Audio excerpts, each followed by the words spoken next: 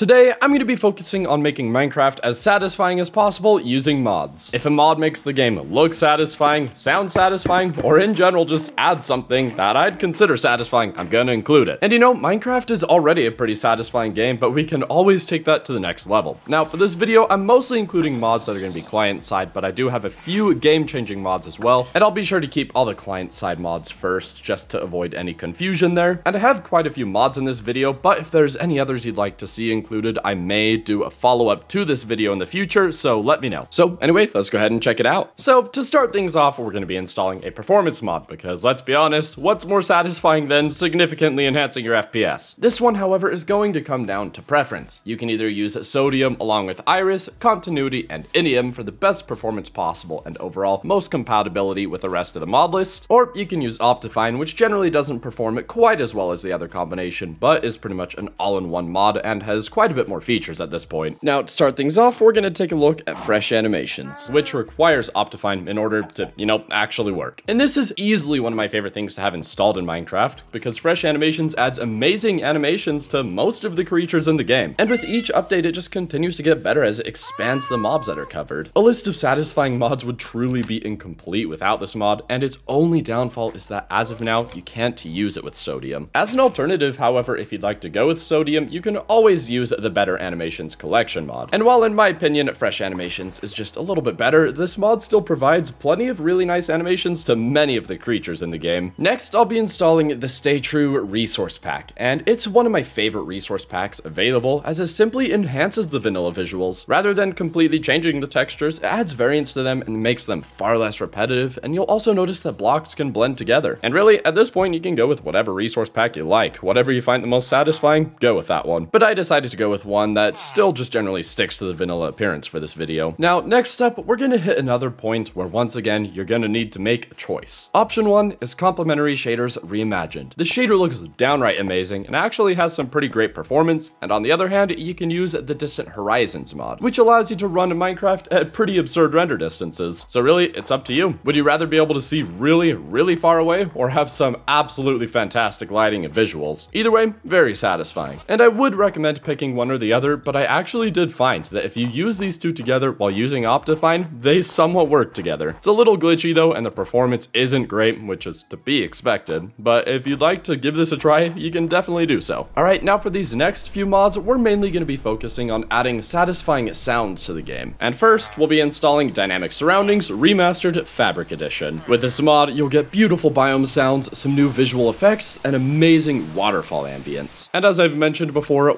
waterfalls in Minecraft, having actual waterfall sounds is immensely satisfying to me, so this is just a must-have. And if the official version of Dynamic Surroundings ever gets updated, you can always use that one, but for now, this is what we're sticking with. We'll also be installing Presence Footsteps, which over the past 10 years now has provided incredibly satisfying footstep audio. Not only do you get unique footstep sounds for most blocks, the mod also recognizes each foot on its own. So now you can walk between two different blocks and the sound effect will alternate for each foot.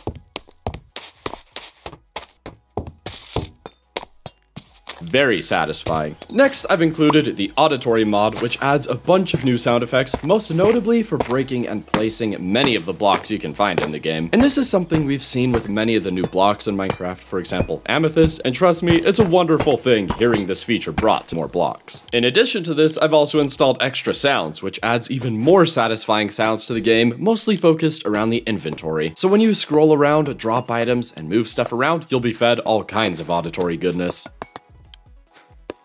Now, moving on from sound-specific mods, everything else I've included really just covers a bit of everything. For starters, we have Camera Overhaul, and this mod adds some pretty satisfying camera movement to the game, all depending on what you're doing. And the default settings for this mod may be a bit nauseating for some people, but do not worry. You can customize the intensity of each of these visual effects. So if you'd like it to be subtle, you can absolutely do that. And if you want to practically be doing barrel rolls when you move around, by all means, go for it. Next, I've installed a pretty small mod called Disable Custom Worlds Advice that saves saves me from some pretty extraordinary anguish. These incessant pop-ups constantly letting me know that I in fact have mods installed. Gone forever. It's really a beautiful thing. And in addition to that, I've installed Toast Manager. And like Disable Custom Worlds advice, this mod disables the constant achievement pop-ups you get with each new world. They're fun for the first few times, but can quickly get irritating when you just don't want them anymore. After that, I've installed the Physics mod, and this mod is just loaded to the brim with satisfying features like mob ragdolls, block breaking physics, and much more. And for the video, I'll be using the Pro version, which includes many more awesome features. Now you'll see things like realistic smoke, better weather visuals, interactive snow, and much more. And hey, if there's any features you don't enjoy with this mod, you can always just change or disable them. Very satisfying. I've also installed the InvMove mod, which allows you to move around while accessing inventories, and this mod was surprisingly client-side. I honestly thought this would be server-side, although I don't make any promises that you won't get banned if you use this on a server or something like that. So if you do plan on using this mod online, I would definitely make sure you're allowed to use it on that server. I've also included the dynamic crosshair mod, which changes slash hides your crosshair depending on what you're doing or holding. And this can be especially nice when you have no need for a crosshair as it frees up some of your HUD, making your game more beautiful and by extension, satisfying. Now, in order to make third person more satisfying to use, I'll be installing it both better third person and camera utils. Better third person lets you walk around in every direction while playing in third person, whereas camera utils allows you to customize exactly where the camera sits behind you. And one of the last client-side mods we'll be installing for now is Legendary Tooltips, and this mod simply lets you know when your valuables are in fact valuable. Now they'll have a beautiful golden border that shows that that item is special. And finally, for the last of our client-side mods, I've installed Effective, which adds several very satisfying water-based effects to the game. Now you'll get some really nice visual effects when pretty much anything falls into water, and waterfalls appear much more powerful, I guess, as water splashes everywhere. And this mod also has built-in waterfall sound effects, although I think Dynamic Surroundings does it just a bit better, so I've just gone ahead and muted these. Alright, at this point, every single one of the mods we've installed is client-side, so if you want to use these mods on a server or with friends or something like that, you won't be able to install any of the mods that are upcoming unless those mods are also installed on the server, so keep that in mind. And like I said earlier, I'm not going to be installing that many server-side mods this time around, however, if I do another one of these videos, I'll be sure to include a lot more of both. So we're going to move on to a few server-side mods now. And the first of these mods is both Better Combat and Combat Combat roll. And these mods are both created by the same developer, and in combination, they make combat incredibly satisfying. And you can also combine these mods with weapon mods like Marium's Soulsborne Weaponry or Simply Swords to significantly expand the set of weapons available to you. Next, I've selected Diagonal Fences just because being able to place fences diagonally is both mentally and visually pleasing, and overall just makes fences a whole lot more versatile. And after that, I've installed Visual Workbench, which makes crafting pretty much infinitely more satisfying, as not only do items stay in the crafting table if you exit it, but they also stay on top and show exactly what you're crafting. And truly, this mod just makes the entire crafting experience that much better. And finally, the last mod I'll be showing today is Immersive Portals, and I still consider this to be easily one of the most satisfying mods that exists. I mean, when I first came across this mod's predecessor, Better Portals, I was completely mind blown and really didn't even expect a mod like this to actually exist. But it does, and it works pretty much perfectly. I will mention though, I was actually getting some crashes using this mod with this mod list, and I think the crashes were being caused due to incompatibility with the physics mod. I'm not 100% sure on that, but I have my suspicions. But hey, give it a try, you guys might have better luck with it than I did. And anyway, that's gonna do it for this video, and as I mentioned before, I would definitely love to do a part 2, and potentially beyond for this video, as there's many mods out there that I would consider very satisfying, and I mean, yeah, I'd love to expand on it. So be sure to comment some mods below, and I'll be sure to take a look at them and potentially include them in the future. And anyway, let me know what you thought about this video, and if you guys enjoyed, be sure to leave a like, comment, and subscribe, and until next time, thanks for watching.